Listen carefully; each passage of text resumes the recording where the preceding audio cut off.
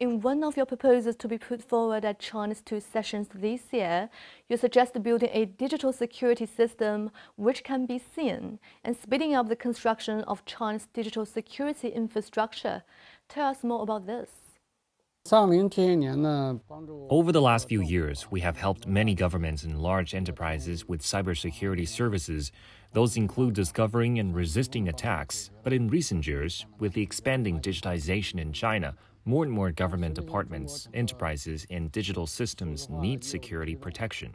Thus, we suggest building a connected digital infrastructure using our cloud based cybersecurity services. With these, the security systems can be integrated and achieve collaborative defense. This will also reduce costs incurred by government departments and enterprises for cybersecurity services. At the beginning of this year, OpenAI stumped the world with Sora, its newest AI innovation that generates realistic videos from simple text descriptions. We noted that you have commented on the functions of Sora on many occasions. For example, you said, well, Sora would shorten the realization of artificial general intelligence, or AGI, from 10 years to 2 to 3 years. What made you say so? 我觉得 OpenAI 呢，实际上是在找到了正确的方向。I think OpenAI is on the right track. First, it chooses to use the Transformer language model, which was actually developed by Google. Then, it uses the model to not only process text information, but also image and video information. Our enterprises should learn from that. In terms of AGI, I believe ChatGPT has solved the problems of communication between computers and humans. Sora has shown the capability of making the world simulated by it look real. For example, snow is soft, water has fluidity.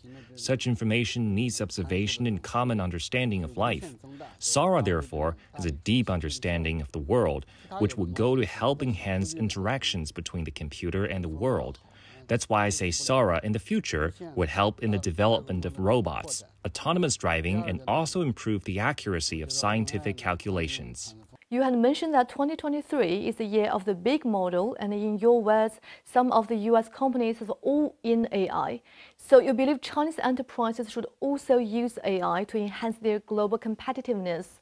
Why do you say this?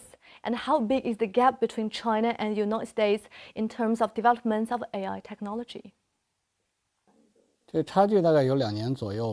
I believe that when it comes to AI, the development gap between China and the United States is about two years. But we're not sure whether there are other secret weapons of OpenAI, such as ChatGPT 5.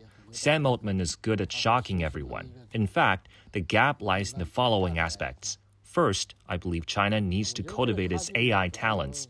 Second, we need to enhance our computing power. Then it is knowledge. Having a great amount of data does not necessarily mean one can train a good model. We need to have knowledge about all of humanity. At the same time, we need to not only develop the big model, but also make those big models smaller, which means putting these big models into specific areas and making them more specialized. Only then, those big models can be effectively used in enterprises, and AI will truly be bringing another industrial revolution for humanity.